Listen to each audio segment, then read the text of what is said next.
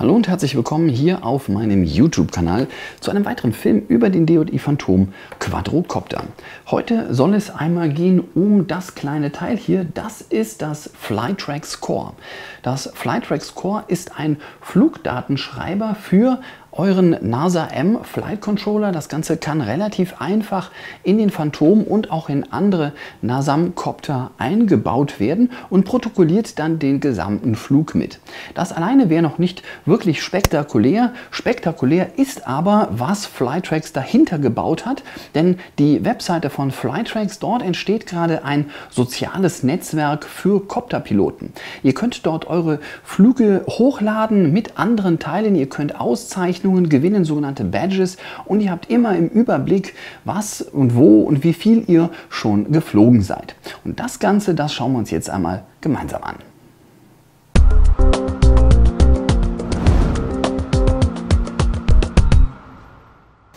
Schauen wir uns zunächst den Lieferumfang an. Darin enthalten ist hier diese Flytrax Platine mit zwei Anschlüssen. Darüber hinaus gibt es ein vierpoliges Flachbandkabel. Und zu guter Letzt sind noch zwei Aufkleber im Lieferumfang. Wer das Flytrax am Phantom nutzen möchte, der braucht zusätzlich ein solches optional erhältliches Kabel, ebenfalls vierpolig, aber hier mit so zwei Anschlüssen an einem Ende. Inklusive des einfachen Kabels für normale Kopter bringt das Flytrax ein Gewicht von 16 Gramm auf die Waage. Wer es hingegen am Phantom nutzen möchte, der muss ein Gewicht von 22 Gramm mit sich rumtragen. Das Flytrax Core ist 6,5 cm lang, 2,7 cm breit und 1,1 cm hoch.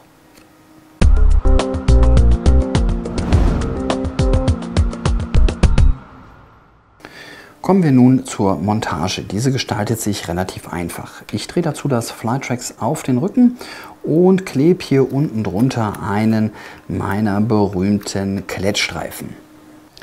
Am Kopter selbst habe ich dann ebenfalls etwas Klettband befestigt und hier klette ich jetzt einfach das Flytrax Core drauf. Dann gehe ich hin und nehme mir hier aus dem NASA PMU Modul diesen Stecker, der von der GPS-Antenne kommt und hier in den GPS-Anschluss geht. Und den stecke ich einfach hier in, die ein, in den einen Anschluss des Flytrax rein. Welchen ihr da nehmt, ist egal. Das Signal wird einfach nur durchgeschleift und abgegriffen. Dann kommt der Stecker zum Einsatz. Der kommt jetzt hier in den anderen, in den anderen Anschluss hier rein und wird dann zurückgeführt in die NASA rein, hier in das PMU, in dem GPS-Anschluss des PMU-Moduls. Ja, und damit ist es hier schon fertig angeschlossen. Am DJI Phantom gestaltet sich die Montage etwas schwieriger, denn wir müssen den Kopter natürlich auseinandernehmen, um hier an die wichtigen Anschlüsse zu kommen. Wer nicht genau weiß, wie das geht, der schaut sich bitte meinen Film über die Demontage des Phantom an. Ja, als allererstes gehen wir einmal hin und entfernen hier dieses USB-Kabel. Das ist nämlich hier im Weg. Das könnt ihr einfach nach oben rausziehen. Eventuell ist es hier hinten bei euch festgeklebt. Dann müsst ihr das vorsichtig ein bisschen abschneiden. So, und wenn ihr das gemacht habt, dann kommt ihr hier an die Anschlüsse. Es gibt hier ein Kabel, das geht von der GPS-Antenne hier im Deckel hin zum Flight Controller und das ziehen wir jetzt als erstes einmal raus. Wenn wir das gemacht haben, halten wir es hier direkt einmal fest. Und das müssen wir jetzt einstecken in diesen Doppelstecker hier, der mit dabei ist. Da gibt es diese lange Steckdose. Dort wird der ähm, Anschluss hier, der von der GPS-Antenne kommt, einfach eingesteckt. Und die andere Seite, die stecken wir jetzt zurück in den NASA M Flight Controller. Hier an der Rückseite an diesen Anschluss ähm, wo wir eben das Kabel rausgeholt haben. So, wenn das gemacht worden ist, dann könnt ihr wieder hingehen und zu guter Letzt dann hier das, äh, den, die USB-Verlängerung wieder einstöpseln. Das nicht vergessen, sonst wird das nächste Firmware-Update etwas schwierig. So, wenn das gemacht ist, dann muss man sich überlegen, wie man jetzt die andere Seite des Kabels aus dem Kopter rausführt, denn das Flytrax muss ja draußen angebracht werden, weil wir ansonsten die SD-Karte, die dabei ist, nicht wechseln können. Ich habe mich dazu entschieden, das hier rauszuführen an der Batterieklappe, habe hier an der Seite das so liegen. Das Kabel, das kommt dann hier raus und das Flytrax, das kann ich dann hier einfach einstöpseln. Ist egal hier, in welchen ihr das einstöpselt. Das ist, könnt ihr also sowohl an den einen als auch an den anderen stecken. Und dann führe ich das hier an die Seite und klette das hier an diese Position fest. Und das Flachbandkabel, das führe ich hier an der Seite so raus und kann dann hier den Batteriedeckel schließen. So, nachdem wir nun den Flytrax Core hier am Copter befestigt haben, muss zu guter Letzt noch eine MicroSD-Karte hier hinten eingelegt werden. Das machen wir mal gerade. So, jetzt ist sie drin. Und wenn wir das dann gemacht haben, dann können wir jetzt losgehen und draußen mal eine Runde damit fliegen.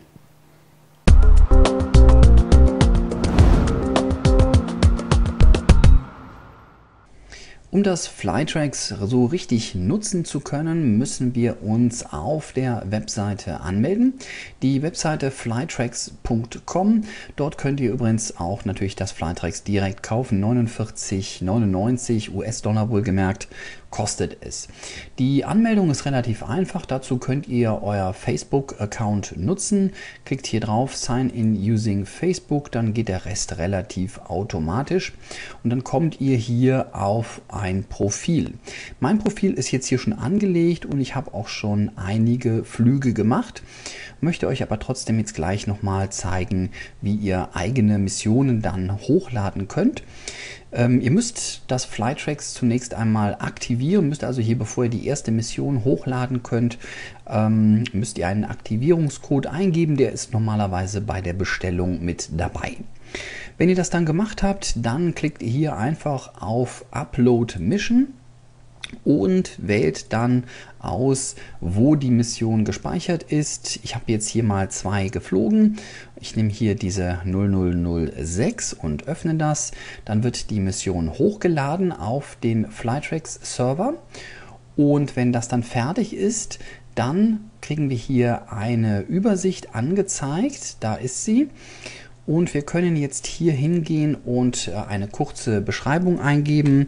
Sagen wir mal Testflight ähm, copterforum.de. Dann können wir, wenn wir das möchten, hier einen Link reinsetzen zu YouTube oder Vimeo und können dort also angeben, wo ein Video der Mission ist, die ähm, wir hier hochgeladen haben. Wir können dann als nächstes entscheiden, ob wir das lieber privat haben möchten oder ob das äh, allen mitgeteilt werden soll, also die Mission für jeden einsehbar ist. Dann können wir hier unten äh, noch einstellen, zum Beispiel, ob wir das direkt auch auf unserem Facebook-Profil teilen wollen. Ihr könnt mehrere Copter hier anlegen und könnt dann sagen, mit welchem Copter ihr diese Mission geflogen habt. Zu guter Letzt gibt es dann hier noch eine Zusammenfassung. Der Flug dauerte 13 Minuten. Er hat äh, etwa eine Strecke von 2,2 Kilometern zurückgelegt. Die maximale Entfernung waren 118 Meter. Hier seht ihr die maximale Geschwindigkeit 62 km/h. Der höchste Aufstieg 60 Meter und der, Maxima, der maximale Höhenunterschied 152 Meter. Und hier seht ihr dann auch, habe ich äh, direkt jetzt ein Badge bekommen, also so eine kleine Auszeichnung wieder erreicht. Und zwar bin ich hier schneller geflogen als 35 Meilen pro Stunde, 56 km/h. Und dafür habe ich jetzt hier diese Auszeichnung bekommen. Ja, zu guter Letzt seht ihr dann hier unten, wo ich geflogen bin. Ich mache mal Satellitenansicht, dann sieht man das hier, wo ich hier geflogen bin. Ähm, ihr könnt euch das hier im Detail anschauen, wo gestartet wurde, wo gelandet wurde. Und wenn das alles fertig ist, dann drückt ihr einfach auf Publish und die Mission wird dann in euer Profil hier, in eurem Profil sichtbar geschaltet. Andere User von Flytrax können die dann sehen und ihr seht hier, ist die jetzt äh, angekommen, diese Mission und jetzt kann äh, zum Beispiel hier das Ganze kommentiert werden. Und man kann hier sich die Mission auch im Detail nochmal angucken, wenn man da draufklickt. Ihr seht jetzt hier, ich bin die mit diesem Copter geflogen, dann hier nochmal die Zusammenfassung der Daten und hier sehen wir dann auch neben der Karte ein äh, Profil, ein Flugprofil. Hier ist die Temperatur, die Temperaturwerte werden hier gemessen. Das grüne ist die Geschwindigkeit. Hier hatte ich so die höchste Geschwindigkeit dann drauf und dann das blaue Altitude ist hier die Höhe. Zum Abschluss seht ihr dann hier nochmal das Badge, das ich freigeschaltet habe mit diesem Flug und hier können jetzt andere Nutzer das, wenn sie wollen, kommentieren. Ja, es gibt aber noch äh, einige oder noch mehr Möglichkeiten. Eine sehr interessante Funktion ist, dass ihr jede Mission, die ihr hier hochgeladen habt, auch wieder herunterladen könnt. Dafür gibt es hier diesen kleinen Pfeil an der Seite. Wenn man da draufklickt, dann kann man die Mission, wenn man möchte, löschen. Man kann nachträglich ein Video hinzufügen. Ähm, man kann die als privat widersetzen und es gibt hier diesen Punkt Export Mission. Damit können wir die also äh, exportieren und hier bietet sich dann an, die ähm, entweder als äh, Google Earth KML-Datei oder als Comma Separated Value ähm, herunterzuladen. Und wenn man das macht, ich lade jetzt hier einfach mal als KML das Ganze runter. Und wenn das dann runtergeladen ist, klicken wir einfach da drauf, dann startet automatisch Google Earth.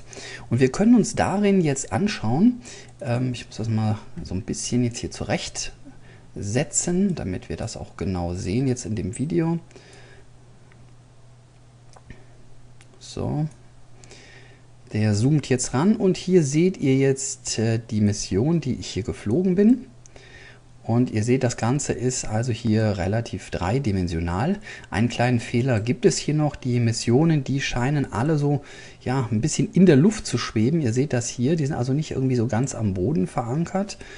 Ähm, aber es gibt hier diese dreidimensionale Flugmöglichkeit. Ihr seht also hier ganz genau, wie ihr da geflogen seid. Und ähm, das Ganze ist auch noch zweigeteilt, das heißt, man kann das Ganze äh, hier, diesen 3D-Mission-Track auch abschalten und unten am Boden seht ihr dann nochmal eine zweidimensionale Projektion. Also hier könnt ihr auch nochmal ganz genau sehen auf dem Boden praktisch, wo ihr lang geflogen seid. Das, wie gesagt, als KML. Zweite Möglichkeit, ähm, wie gesagt, auch hier der CSV-Export. Das könnt ihr hier mit jeder Mission machen, also eine tolle Sache. Aber es gibt noch mehr. Ähm, hier seht ihr auf der äh, linken Seite die gesamte Anzahl an Missionen, die ich hier schon geflogen bin. Insgesamt 7,7 Kilometer Strecke. Hier seht ihr alle meine Badges, die ich bis jetzt verdient habe. Äh, dann eine Zusammenfassung der persönlichen Rekorde. Also die Höchstgeschwindigkeit war 64,9 km/h. Die maximale Höhe, die ich hatte, war 277 Meter. Äh, der größte Aufstieg in einem Stück waren 199 Meter und die größte Entfernung vom Startpunkt waren 200 335 Meter. Hier sind meine beiden Kopter, die ich hier drin angelegt habe und äh, das hier ist dann insgesamt mein Profil. Darüber hinaus gibt es hier noch äh, Funktionen, die ich euch auch noch schnell zeigen möchte. Das ist zum einen die, äh, der Explore-Bereich. Hier seht ihr dann äh, nicht nur meine Missionen, die ich hochgeladen habe, sondern auch die Missionen von anderen. Also alle Missionen, die hier als Public äh, gekennzeichnet wurden. Und die kann man sich natürlich auch genauso anschauen. Ich gucke jetzt hier zum Beispiel diesen aus äh, San Jose in den Vereinigten Staaten, wo jemand hier mit seinem Phantom geflogen ist. Und ihr seht hier auch alle seine Daten, die er hier hochgeladen hat. Ich kann das dann hier, wenn ich möchte, äh, auch entsprechend kommentieren. Darüber hinaus gibt es hier jetzt neu die Challenges. Das ist auch eine interessante Sache. Hier kann man zum Beispiel diesen, diese Speed Challenge sich anschauen. Und da seht ihr die Höchstgeschwindigkeiten, die andere mit ihrem Copter erreicht haben. Und hier kann man dann halt durchblättern und prüfen, wo man selber steht. Ihr seht, ich bin im Moment hier auf Platz 13, jetzt mit meinen 64,9 kmh.